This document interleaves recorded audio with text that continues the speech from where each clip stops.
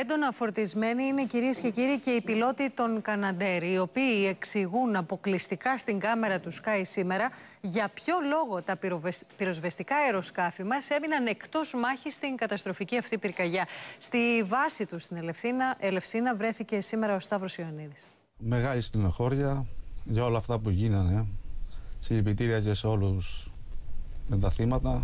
Γιατί και νιώθουμε κι εμείς ότι δεν μπορούμε να προσφέρουμε το βασικό πράγμα και στενοχωριόμαστε πολύ.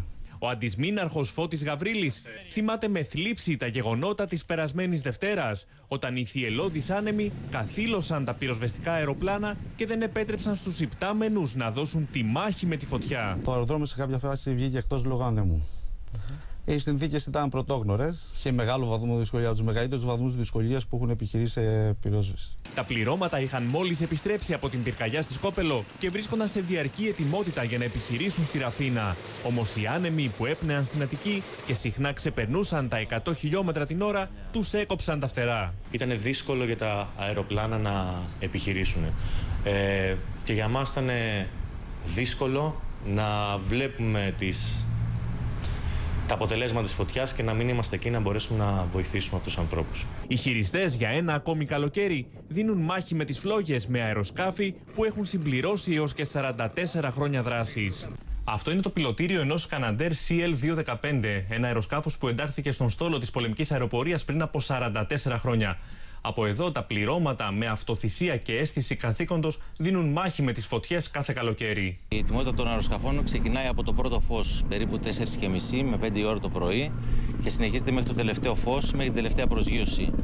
Ε, όλοι οι μηχανικοί ήταν έτοιμοι. Στη βάση της Ελευσίνας, κάθε μέρα είναι μια μάχη απέναντι στον χρόνο. Πριν ακόμη ολοκληρωθεί το ρεπορτάζ, πλήρωμα και αεροσκάφος προετοιμάζονται για την επόμενη αποστολή. Αυτή τη φορά στα γεράνια όρη, με σκοπό να σβήσουν και την τελευταία αιστεία φωτιάς.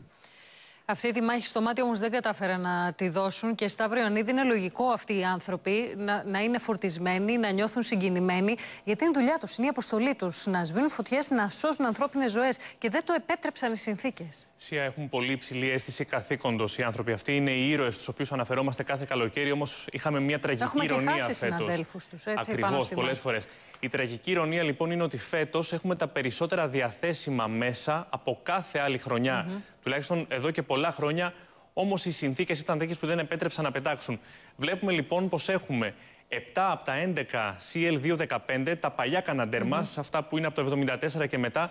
7 στα 11 όμως είναι έτοιμα, επιχειρησιακά έτοιμα, πετάνε. Και 5 στα 7. Συνήθως τα περισσότερα είναι παροπλισμένα εδώ. Άλλες χρονιές είχαμε 2-3 ναι. ναι. διαθέσιμα. Και αυτά είναι τα καινούργια. Τα καινούργια, τα 4-15, όπου 5 στα 7 είναι έτοιμα και προσθέθηκαν και 2 Ιταλικά. Ε, συνολικά δηλαδή 12 αεροσκάφη. Δεν, δεν θυμάμαι άλλη χρονιά να έχουμε τόσα πολλά διαθέσιμα. Έχουμε ακόμη 3 Σικόρσκι ελικόπτερα που κάνουν στοχευμένες ρήψεις. 2 Καμόβ και 3 Σινούκ της αεροπορίας στρατού. Ε, πάρα πολλά μέσα. Πάρα πολλά μέσα τα οποία όμως δεν μπόρεσαν να πετάξουν τη Δευτέρα λόγω των θυελωδών ανέμων. Και έχουμε και μια χαρακτηριστική κάρτα ετοιμάσιου που βλέπουμε τις ώρες πτήσης των ε, αεροσκαφών από τις 23 ε, Ιουλίου μέχρι τις 25. Τα CL215 γράψανε 51 ώρες, κάναν 15 εξόδους. Αυτό βέβαια δεν σημαίνει πως μπόρεσαν να φτάσουν στα σημεία για να επιχειρήσουν. 70 ώρες πετούσαν τα CL415. Προσπάθησαν. Σηκώθηκαν, προσπάθησαν. Οι άνθρωποι αυτοί μου περιέγραφαν σήμερα πόσο δύσκολο είναι να πετά κανείς με αυτές τις συνθήκες. Mm. Είναι πραγματικά τρομακτικό. Ναι. Δεν μπορούν να ελέγξουν το αεροσκάφος. Πριν από τέσσερα χρόνια, μάλιστα, ένα αεροπλάνο έπεσε σε μέτωπο κατά τη διάρκεια φωτιάς. Πρόλαβαν να το εγκαταλείψουν οι χειριστές. Το αεροσκάφος κάηκε εξαιτίας των ανέμων.